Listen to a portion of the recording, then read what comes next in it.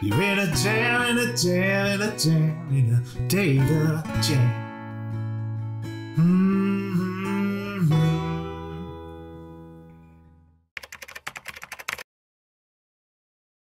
Hey, it's Scott from Collectiv. I'm excited to introduce our new show, Data Jams, where we talk through some of the big challenges you see with your data and help you with solutions. I'm here with Grant today, and we're going to talk about the Tabular Model Definition Language, or TMDL, and how it's going to introduce version control in Power BI for the first time for real, and it's a long time coming. Happy to be here on the first episode of Data Jams. I'm ready to dig into TMDL. All right, Grant, why don't you tell us what version control is?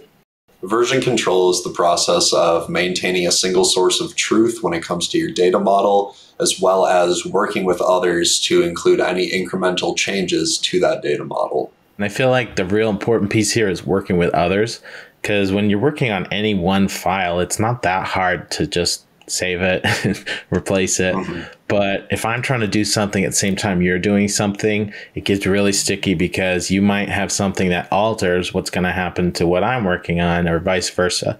So version control to me is not just like the file, but it's also the process to get there. For sure. Power BI has been a great tool to develop with to get solutions for our partners, for working with clients, for getting them analytic solutions. But there's one thing that is really hard, and that's when I'm trying to work with someone else on my team or with the client. And we've got one version over here that he's added some things to, and my version where I've added some new measures to. Just makes it really hard to combine that information so we can have just one version of the truth. And so that's something we always preach about one version of the truth. Well, Microsoft has made it really hard before.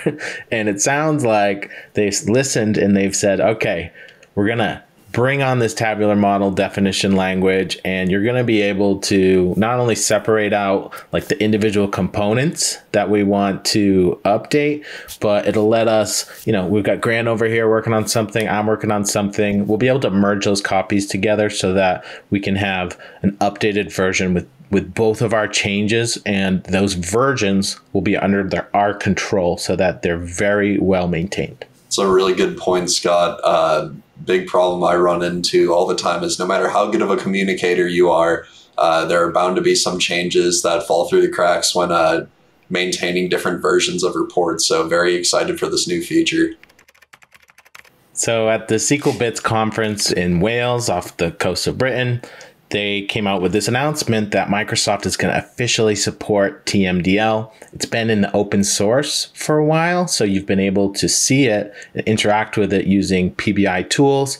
But now Microsoft's going to support it, meaning all these other third party tools like Tabular Editor that I use all the time, ALM Toolkit, we're going to be able to use this model definition language with those tools that we use. So this announcement was huge and I'm really looking forward to working with it. So, Grant, when are we going to be able to use TMDL? So, this feature is actually available right now as a preview feature in Power BI. It's also available in Tabular Editor too. Um, as far as I know, we don't have an exact date of when it's going to be released uh, to the public, but hopefully it's soon. So, I was on Reddit the other day and there was a question about it on Reddit. And there was a comment from the creator of Tabular Editor 3 who said it was available in Tabular Editor 2, but it's not available yet in Tabular Editor 3 because it's paid and he doesn't want to support it because it's new. and he thinks he's going to get a lot of tickets on the paid version. So he's happy to put it in the free version, Tabular Editor 2, so we can test it out there. But for the Tabular Editor 3, it sounds like once Microsoft has worked out the kinks and is supporting it, then it'll be available in Tabular Editor 3. So is this Microsoft native or is it third party, open source? Like, what is it? So it's actually kind of both. Uh, it was developed at first by a third party, but now Microsoft is choosing to support it and integrate it into their uh, apps as well. So it's kind of both, but it, eventually it'll be a native Power BI solution. All right, that all sounds awesome. So, what benefits are we going to see from this? So I would say the major benefit is being able to edit um, tabular model just based on text. So everything will be defined from tables to columns to measures. And then in that text file, you can just easily create a new measure, change a column type, etc. And it makes it a lot faster than before when you'd have to actually go into Power BI and do this or go to Visual Studio and compare versions of a tabular model and add in whatever changes were missing. Uh, so I would say the biggest benefit is just being able to quickly and efficiently go in and uh, make any updates that you need to. Yeah, that's great. And I think the way it's going to be set up is by object. So, although there have mm-hmm. been other attempts at version control, it's been serialized and the objects folders that have been created to store the text hasn't been based like on a column or on a table. So it was split, but now it's being split by objects. So if you just want to edit one thing, you can go in there and edit it without messing up somebody else. And I think that's, for mm-hmm. me, one of the huge parts. For sure. Yeah, definitely a great benefit. All right, Grant, I'm having some flashbacks of all these clients that we've worked on with some very tough version control. Uh, you want to just remind me of some of these attempts we've done and, and kind of why they weren't working so well? Sure. So, I mean, there's really, before this, there was really no good way to do version control. Um, there were clients I've worked on where there was a notes page on the front page of the data set that just listed out each version and what changes were made with that version. There's uh, other versions such or other ways of doing it such as just like creating new versions and labeling them as a new version. So like 1.9 to 2.0 but it wouldn't actually include any of the changes that were made. So you'd have to go back and look for them manually. Uh, also had the experiences doing it in a Visual Studio with ADO repos, which requires a lot of communication and is also kind of finicky at times. So there's really not been a great way to do this in the past.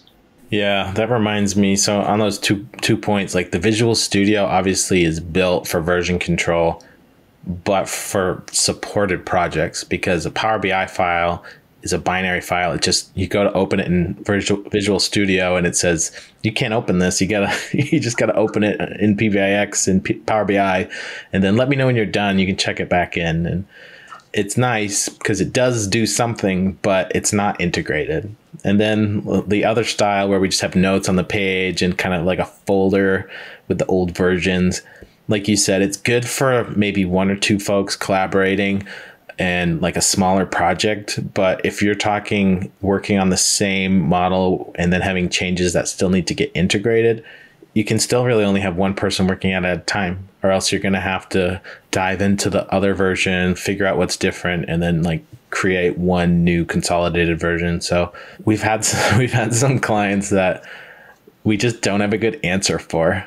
They ask us, "Oh, what's your best practice?" And we have these like list of things we've tried, but nothing great. And I feel like this tabular model definition language should change that and allow us to really provide what we hope to provide to someone, which is real version control with constant integration, constant delivery. Yeah, it's great having a, a method of version control that's supported by Microsoft now. And I mean, we've all been there before where we've made changes to a model and they've been overwritten by someone else unknowingly, and then you have to go in and make the changes again. So it, Microsoft has just made it so much easier. So I'm really happy that they decided to support this feature. Uh, it should be a big help and a big time saver. Yeah. Thinking of that too, I mean, we're both getting really handy with Tabular Editor. And I think this is going to be just a great plugin feature for that as well because mm-hmm. it's really saved us some time on creating measures or relationships or, or tables, even. But the fact that we can maybe share information from it while using this third party tool and have the you know supported version control, I'm just really excited that it not only works natively but with these third party tools as well. Definitely. It's it's nice having something that's separate from power bi that you can just easily go in and make edits. Uh, when you do stuff in power bi even though it's a, a great program uh, there's so many clicks involved and a lot of different navigation steps that you have to take whereas when it's just laid out for you in text, it's so much easier to just go in and create a new measure or edit exactly what you want to edit. And you don't have to do all the clicking around and navigating like you would have to do in Power BI. Yeah. So I'm just really excited that it's happening. Uh, I'm excited for our clients that we're going to be able to offer them something that's uh, version control for real and not just kind of a workaround. And I'm excited that it's going to make our jobs easier, of course. Always excited yeah, for that. All right. So I think we understand what it is. So, what are some key considerations some of our clients should think about, and what should they want to do to get started with TMDL? Uh, that's a great question. So, a consideration that I would take into account is if your model is actually ready to be developed on by multiple people at the same time. If you have a really messy model that will take time to explain to another developer and let them know the different ins and outs and nuances of it, it's probably not the best solution for you at this time. However, TMDL can help you uh, more efficiently like rebuild your tabular model and make it ready for uh, multiple developers at the same time. Uh, the biggest thing with making sure that your model is actually ready to be developed on by multiple people is making it easy to navigate and having naming conventions that are pretty self-explanatory. Otherwise, you'll spend a good amount of time teaching them everything about the model, even though it isn't organized well and it it's not a very efficient use of your time. Yeah. So we're thinking not only should your model be kind of prepared for multiple developers, but prepare it to be just a successful model in general because this tool can help you make sure that everything makes sense, meaning naming, um, how things are set up, making it easy for anyone to jump in and start helping you on this project, whether it's a consultant or a new hire. So consider like, is your model in the way you want it to be set up just for success, but also is it set up for you know help in the future from whoever's coming on? Because everyone knows that models can be sort of like personal. Like whoever set them up, sometimes they take shortcuts or, or naming conventions that are non-traditional and they, they might not document it. Well, hopefully this new TMDL will make it easier for all these things to be very uh, thorough and, and well understood and, and make it very extensible for whoever's coming on to help in the future. Yeah, uh, this is a very useful tool and it's a great means to editing your model. But if you don't have a solid Power BI foundation and know the concepts well, uh, it's just going to get even trickier. So I would say this is probably more for seasoned users but also it's not that hard to teach to people. Uh, it's Microsoft and uh, the third party developers have made it very easy to follow along and understand. So it's a great means for actually editing your model, but you have to make sure that you have that solid foundation first. All right. Thanks for joining me, Grant. This was a great discussion. Yeah, agreed. Thank you so much for having me on the show. I feel very special being on the inaugural episode of Data Jams. If you're stuck in a data jam, we'd love to help in your situation leave us a comment and we will give you some expert recommendations to get out of that data jam.